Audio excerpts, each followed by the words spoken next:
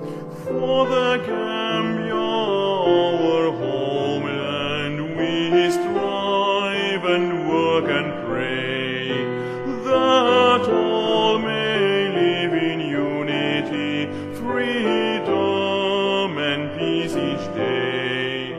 Let justice guide our actions towards the common good and joy diverse peoples prove man's brotherhood. We pledge our firm allegiance, our promise we renew.